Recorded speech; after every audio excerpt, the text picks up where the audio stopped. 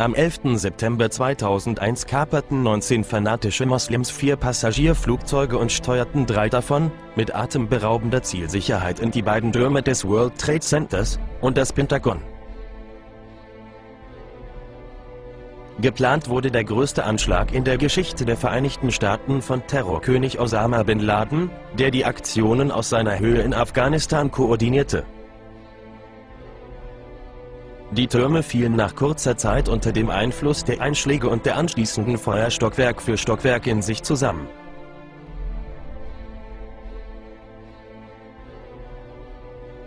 Dies sind die Eckpfeiler der offiziellen Version, wie sie im 9-11 Commission Report nachzulesen sind.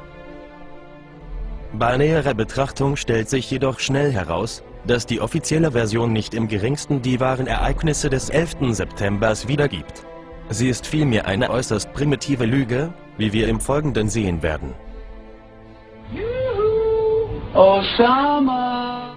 Die Wahrheit hingegen ist sehr viel komplexer und von solcher Tragweite, dass sich die allermeisten schon zu Beginn der anstehenden Entdeckungsreise abwenden und lieber wieder in ihre kleine Scheinwelt zurückkehren.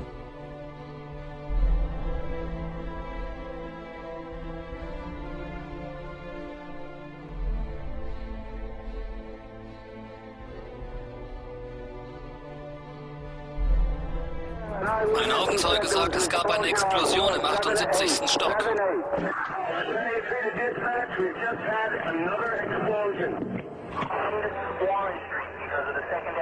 Viele Leute sind voller Staub gewesen.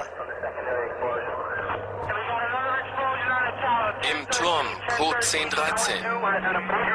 Es gibt eine größere Explosion. Sieht nach einem Zusammenbruch in der ganzen Gegend aus. Habe es mit einer kleinen Explosion zu tun.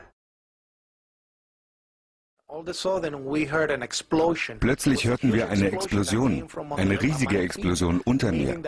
Das kam aus den Untergeschossen, etwa B2 oder B3. Und es gab eine riesige Explosion an der Spitze des Hauses.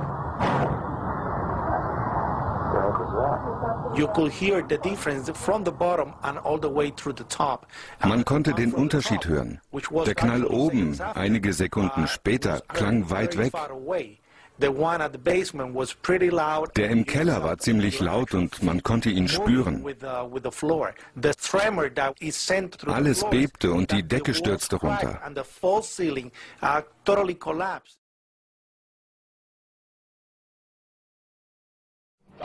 Ich ging runter, weil ich die Container wegschaffen sollte.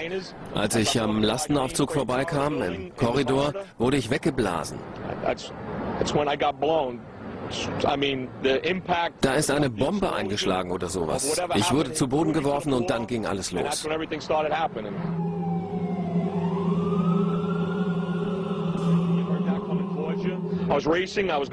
Ich rannte Richtung Waschraum. Als ich die Tür öffnete, gab es wieder einen Schlag.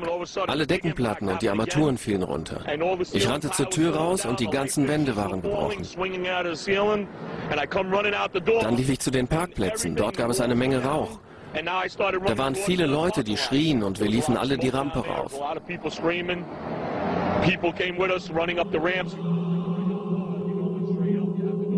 You know, you got to go clear across the hole from one to es gab einen unterirdischen Verbindungsgang zwischen den Türmen. Dort mussten wir entlanglaufen. Und plötzlich dasselbe nochmal. Ich weiß, dass Menschen im Keller getötet wurden. Ich weiß, dass sich Leute da unten ihre Beine gebrochen haben. Manche wurden von Trümmern so schwer im Gesicht verletzt, dass sie plastische Operationen brauchen. Als ich nach oben ging, habe ich kleinere Explosionen gehört. Und die kamen nicht von da, wo das Flugzeug eingeschlagen ist, sondern von weiter unten.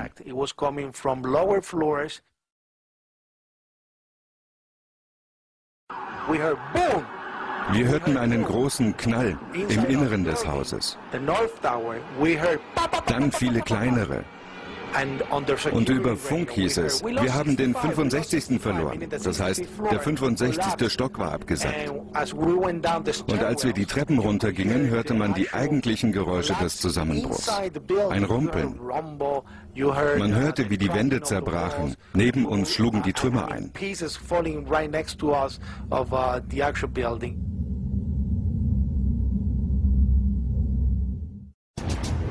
Nehmen wir den Einsturz genauer unter die Lupe. Man sieht, wie vor dem Zusammenbruch Betonteile seitlich aus dem Gebäude schießen. Sprengmeister sprechen dabei von sogenannten Knallfröschen. Dabei handelt es sich um die Sprengladungen, die sichtbar durch die Außenwand fliegen.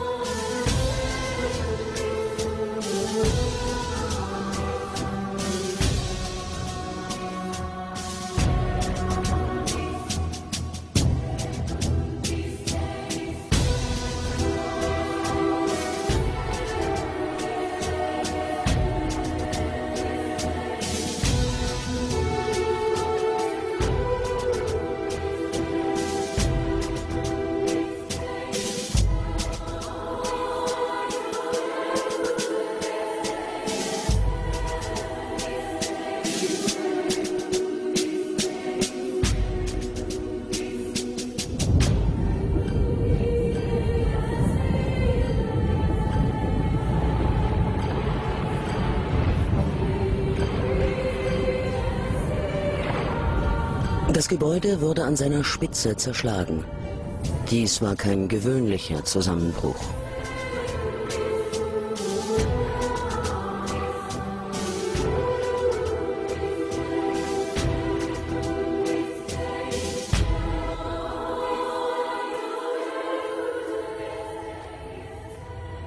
So beschreiben die Feuerwehrleute den Zusammenbruch des Nordturms.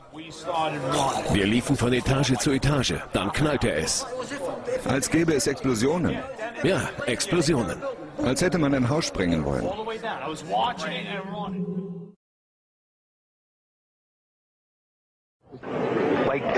Es klang wie Schüsse.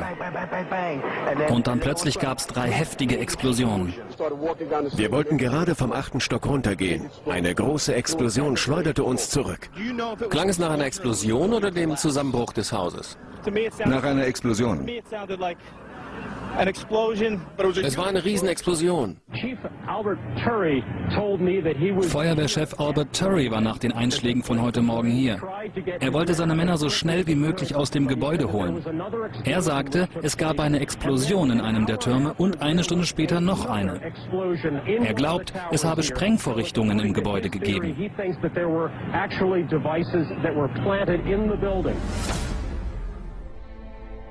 Bei kontrollierten Sprengungen werden die Stahlträger grundsätzlich schräg zerschnitten. Dadurch rutschen Teile des Gebäudes zur Seite, was den Zusammenbruch erleichtert. Und tatsächlich sehen wir in den Ruinen des World Trade Centers eben diese schrägen Schnitte. Kein Schweißer würde sich je die Mühe machen, einen solchen Stahlträger schräg zu zerlegen, wenn er ihn viel schneller gerade abtrennen könnte. Außerdem werden solche Träger aus Sicherheitsgründen immer liegend zerlegt. Wir sehen hier somit einen weiteren deutlichen Beweis für die kontrollierten Sprengungen der Türme.